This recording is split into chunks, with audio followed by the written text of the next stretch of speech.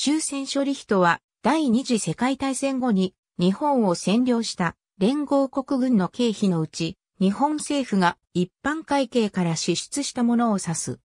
後日の講和条約締結の際に相互請求権の総額を確定させるために設けられた経費区分である。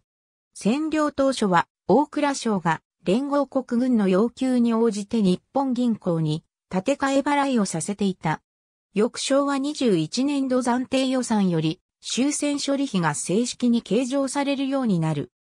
1946年予算では379億円、1947年予算では641億円、1948年予算では1061億円、1949年予算では997億円、1950年予算では984億円、1951年予算では931億円、1952年予算では173億円、1953年予算では1億円が計上されている。1946年度から3年間は、歳出項目中最大の比率を占めていた。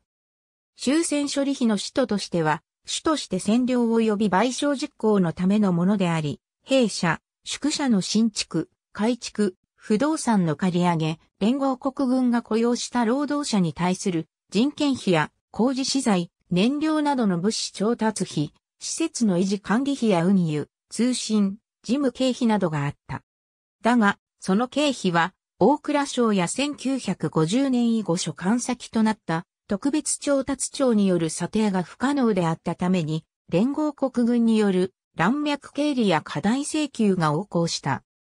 さらに、物資不足にもかかわらず、連合国軍による強引な期日厳守要求が出され、それに間に合わせるために、日本側は高価かつ強引な物資調達を余儀なくされたため、戦後のインフレーション悪化の間接的な要因となり、さらなる終戦処理費の増加が行われるという悪循環も発生した。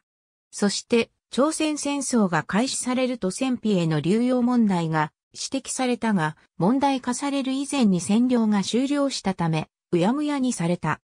占領の遂行や、ドッジラインによる GHQ 主導の緊縮財政路線とともに、終戦処理費は減少に向かい、1952年4月28日、以後は日米地位協定に基づく在日米軍の防衛支出金へと継承されていった。ありがとうございます。